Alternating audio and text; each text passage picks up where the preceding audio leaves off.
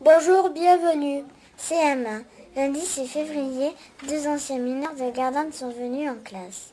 L'un était mécanicien, l'autre chauffeur d'engin. Nous préparons un JT spécial mine pour fin février. À cause du froid, nous n'avons pas pu aller en sortie à la forêt des cèdres prévue le 9 février. Tout est reporté en mars. CE1, CE2.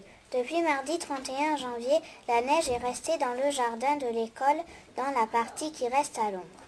La mare du jardin est toute gelée.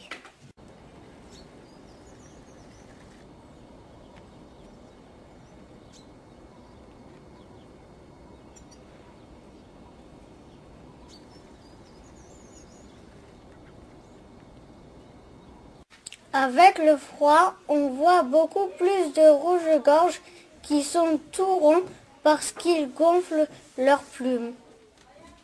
CM1. Nous avons dessiné des calligrammes qui sont des dessins réalisés en écrivant des mots sans espace. Nous avons également rédigé un texte sur la randonnée dans les collines.